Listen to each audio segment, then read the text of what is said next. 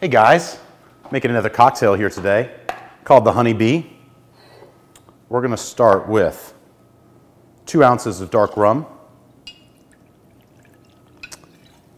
We're gonna add to that a half an ounce of lemon juice, a half an ounce of our honey syrup, glass full of ice. Give it a good shake.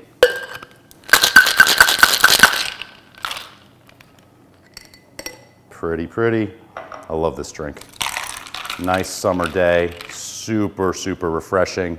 I like garnishing it with a fancy lemon. Cheers.